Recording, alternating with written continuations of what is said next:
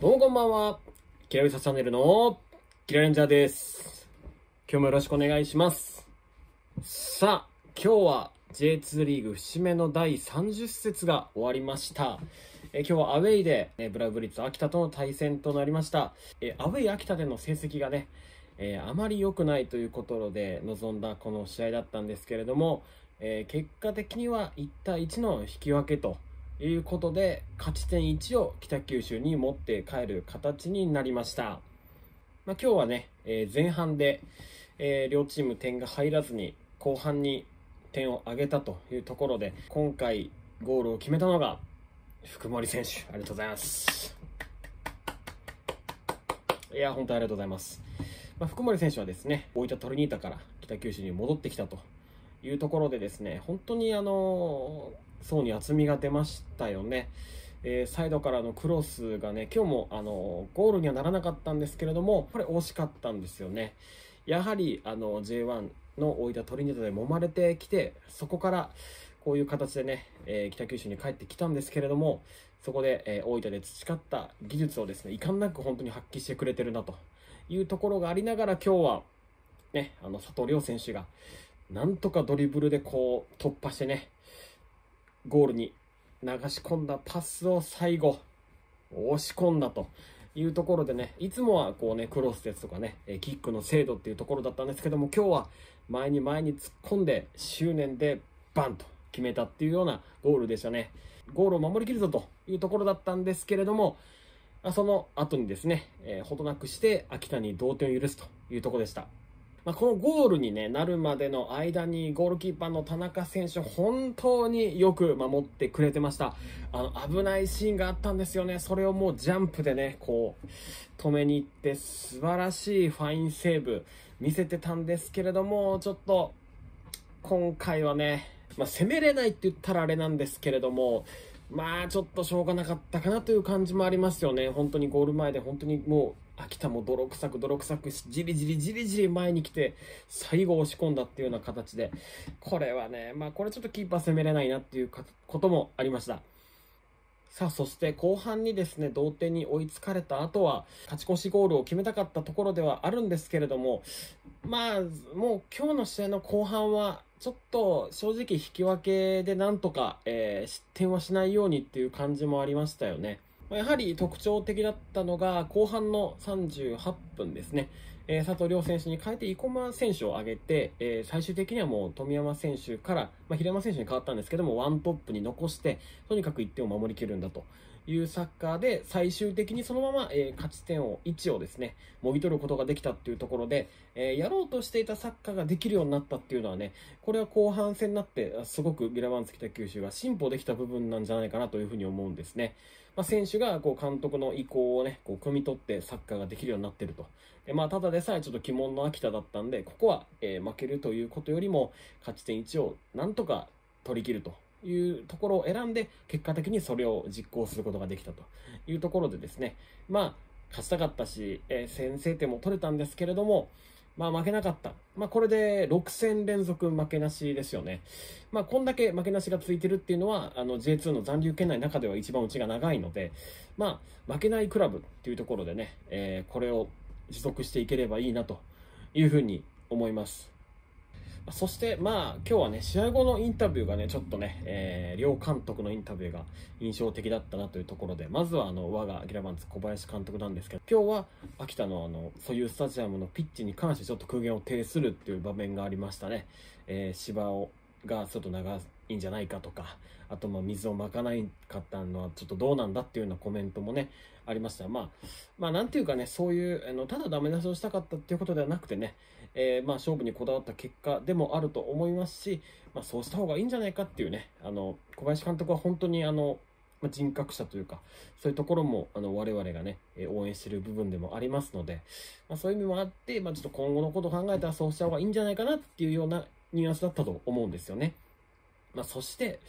あとはですね、このブラブリッツ監督の吉田健さんですね。この監督がね、あの、ちょっと前々から気になってたんですけども、今日改めて監督インタビュー聞いて、普通の監督のインタビューとちょっと違うんですよね。はい。我々は、勝ち点ということよりも、一試合一試合、真剣にやっていくっていうだけですみたいな感じでこうなんていうんですかねこう一つ一つにこう言葉にこう気持ちがこもってるっていうかねなんかこう聞いててこうライバルの監督だったんですけれどもちょっと聞き込まれたというところでちょっと非常にね気になる監督だななんて思って、まあ、どういう経歴なんだろうなと思って調べたんですけれどもウィキペディアでですね。そしたらあのプロ選手としての気気はおそらく選手としてはなかったのかなというところで、えー、アマチュアですね、えーと、ベルディの、えー、社会人チームとあと別の社会人チームに行ってそこからあの監督のライセンスを取ってえっ、とあれは沼津でしたかね。沼津の監督をされてから今秋田に来てるというようなところであなるほどねと。そういうこうスターダムではなくてこう雑草でこう一つ一つこう階段を上ってきた、まあ、そういう、まサッカー選手としての生き方もそういう監督だったなというところでああなるほどななんて思ってそのウィキペディアの下のページ見たらですね吉田監督5、6っていうのがありまして。これあんまりね、他の監督でね、あの、5、6が並ぶ人って多分いないと思うんですけど、もうこの、とにかく長々とコメントいないんですよね。本当に一個一個ピシッピシッと言葉があるっていうことでね、これ本当にあの、読んでて面白かったので、ぜひ、あの、吉田監督のウィキペディア皆さん、あの、調べていただいて、ぜひちょっとね、吉田監督5、6もチェックしていただければな、なんていうふうに思います。今日もですね、えー、残留圏にいる、まあ、今のところまあ9クラブ。これがね、またいろんな様々な結果になって、ちょっと混戦具合に拍車がかかっております。あの、前回からね、登場したあの、私の、えー、J2 残留権争いグラフで、ちょっと今日の試合を順におさらいしていければと思います。それでは、こちらの表をご覧ください。さあ、それではですね、今回も、えー、前回から登場いたしました、えー、J2 残留圏内の後半戦の成績表、こちらを見ながら、えー、今回の結果と次節の展望を見ていきたいというふうに思います。こちらの表の見方になりますけれども、まずこちらが、え残留圏内にいる、え9クラブですね。あ、残留、あ、違うな。えこちらが、え残留圏内に入る可能性が高いと思われております。J2 の下から9クラブ。こちらの順位になります。そしてこちらが前半戦でその9クラブが挙げた勝ち点になります。そしてこちらが後半戦が始まってからの、えー、星取り表ということになります。後半戦は24節から始まりまして、えー、第現在が第30節ということになります。そしてこちらの表の見方なんですけれども、えー、青く数字の3と書いているところが試合に勝って勝ち点3を上げたところになりますね。そしてこちら、青で数字の1、これが入っているところが勝ち点1、これを上げている。つまり引き分けだったっていうことですね。そして勝ち点が0。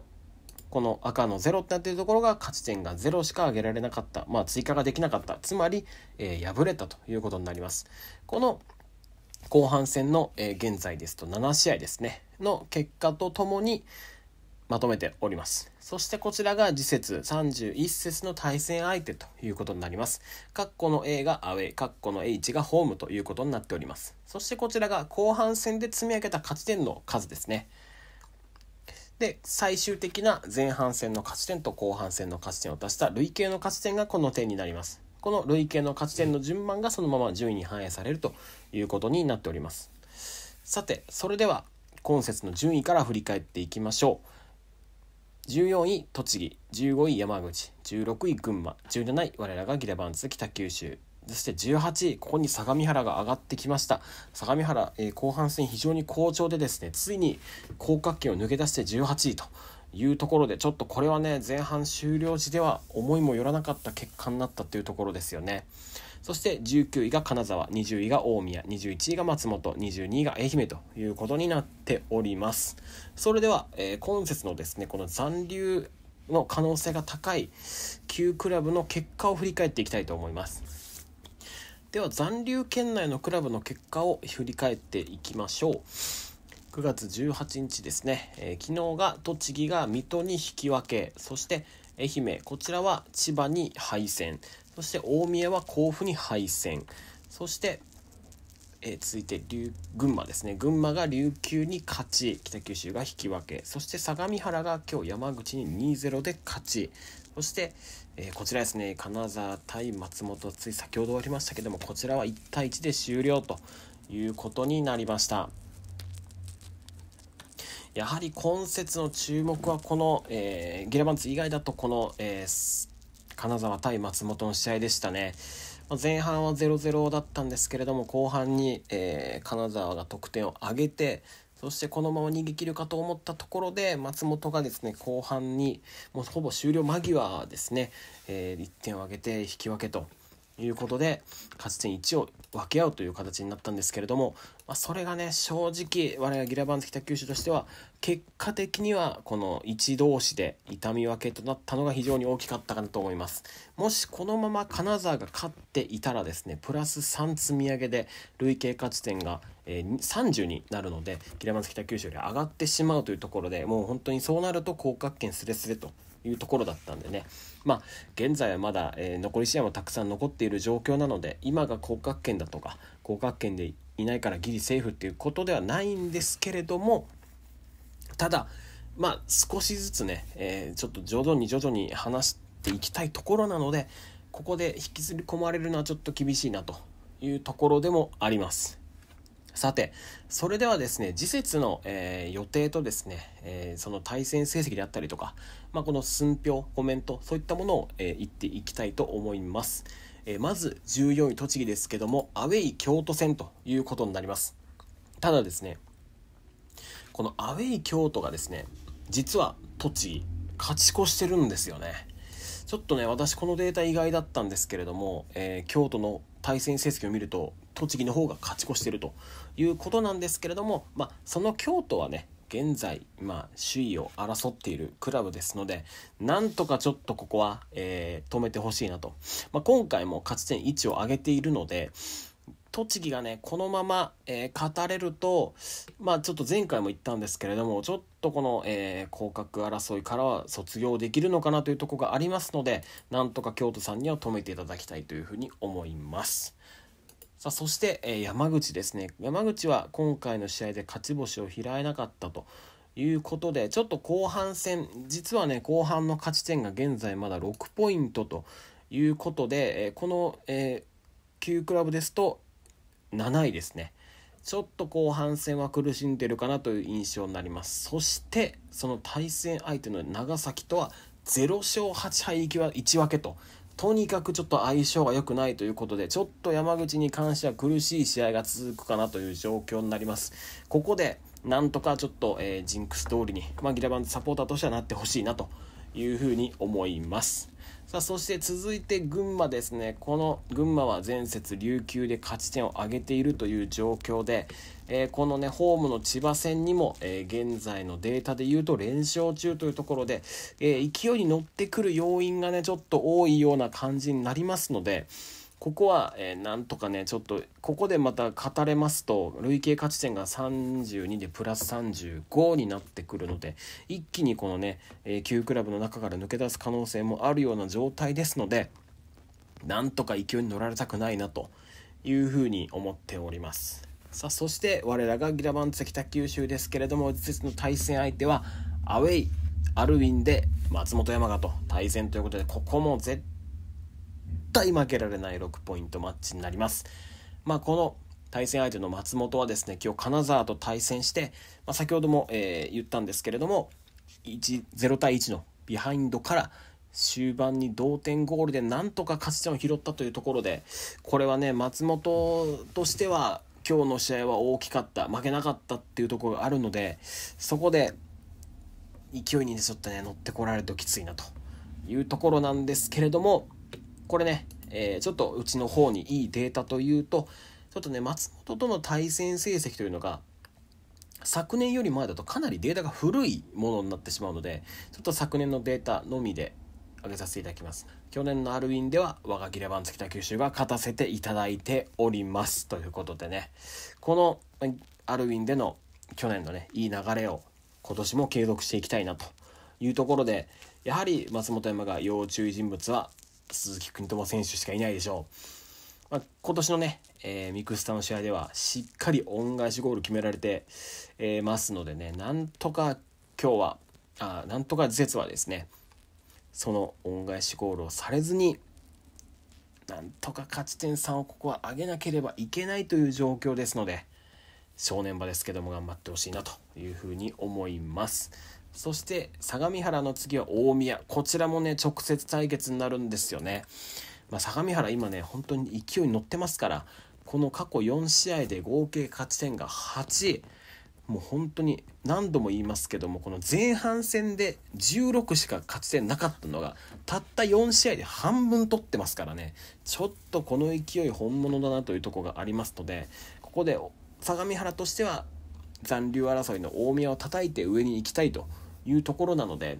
ここをねなんとかちょっと大宮に止めてほしいと思うんですけれどもじゃあ大宮に勝ってほしいかと言われると大宮に勝たれると今度それはそれで抜かれるかもしれないので正直、えー、引き分けでお願いしたいです。もうここは今日のね、え、金沢松本同様なんとか引き分けで痛み分けをしていただきたいというふうに思っております。そして続きましてこちらが19位の金沢の対戦相手ですけれどもアウェイ無観客でホームのお客さんだけということになりますので金沢はねちょっと応援の面でも不利を強いられるというところもありますし、えー、水戸との対戦成績も非常に良くないと。えー、過去5戦で、えー、0勝4敗1分けということで勝ててないんですよね。まあ、今日もね勝ち点3を、えー、寸前で勝ち点1になってしまったと2ポイント落としてしまったっていうところでちょっとねここで水戸戦まあ、分が悪いところが続きますので、なんとか、えー、こちらもね、まあそうですね、最低勝ち点1でなんとかしていただきたいなというふうに思います。そして最後ですね、22位、今回の結果で最下位に沈んでしまった愛媛。まあ、ここもですね、ここ4試合で、えー、勝ち点2ポイントのみというところで、まあ、ちょっとね、足踏みが続いているかなというところで、そんなところで迎えた相手が、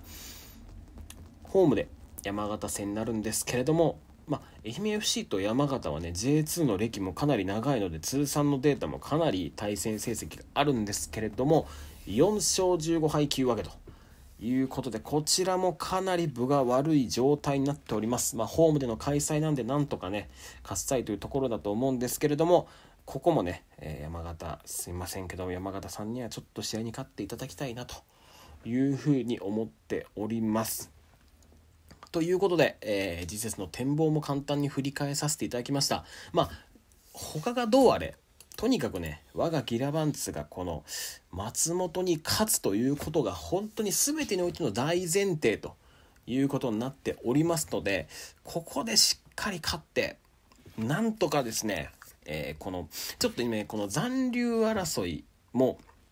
こう、2ブロックに分かれてる感じがあるんですね。この累計勝ち点この33と32の3クラブと29から26の6クラブ。これでちょっとねちょっと2極化しつつあるのでこの2極化してる下の方に染まってしまうと本当にもうマジで広角全然あるよっていうとこのエリアになってしまうのでこの3点を勝たないといけないんですね。しかも、えーとまあ、特に群馬辺りはね次もしっかり結果を残してくるんじゃないかと。まあ、栃木もね、ちょっと京都には部がいいですし、山口はまあちょっとわからないですけども、この2クラブが一気にこう抜け出そうとしているところなので、ここには食らいつかないとかなり厳しいと。いうことになるので本当にマストです。まあ本当にずっとマストっちゃマストなんですけど今回もマジで、えー、勝ち点マストというとこなんでぜひギラバンツ北九州こちら絶対負けられない6ポイントマッチ制していただきたいと思います。さあということで、えー、J2 の回の残留権争いの今日の結果そして施設の展望を振り返ってまいりました。まあ今回ね、ギラバンツ北九州、現在、えー、勝負の4連戦というところの真っ最中で、まあ、前回の金沢、今回の秋田、そして次節の松本、そして最後群馬と、もうね、本当に落とすことができない4連戦が続いております。そしてその中で、次節は松本というところでね、今日の松本は本当に激戦の中、勝ち点をもぎ取ってますから、このままではね、あの、本当簡単に、え順位は僕らの方が上ですけども、簡単に行く相手ではありませんので、なんとかね、ここで、えー、アウェイではありますけれども、ここでもしっかり、ここは残留の直接ライバルですから、あの、勝ち点1ではなくてですね、ここは勝ち点3を取らないといけないというふうに思っております。選手たちも皆さん同じように考えていると思いますし、そういったサッカーをえやってくれるのではないかなというふうに思います。勝負の4連戦、皆さんも、えーちょっとね、アウェイなんで、 DAZN での応援になると思いますけれども、応援をしていきましょう。それでは今日もご視聴いただきましてありがとうございました。えーお気に召していただいた方、チャンネル登録、グッドボタン、お願いいたします。それでは今日もご視聴ありがとうございました。キラビサチャンネルのキララジでした。